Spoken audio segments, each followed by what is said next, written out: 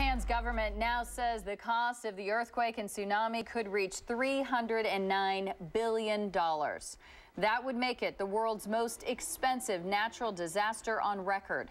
And the death toll continues to rise with more than 9,400 bodies counted and more than 14,700 people still listed as missing.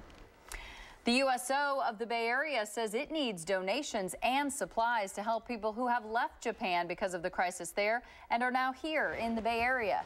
The organization says it needs these things individually packaged, non perishable snacks, bottled water, cookies and sodas. The Bay Area centers uh, at Mineta San Jose International Airport and SFO will receive your donations. They're also at Travis Air Force Base in Fairfield. KTVU.com has more on the Japan crisis, including additional stories and how you can help donate to help the quake and tsunami victims. Just click on the Japan Quake tab right at the top of the page.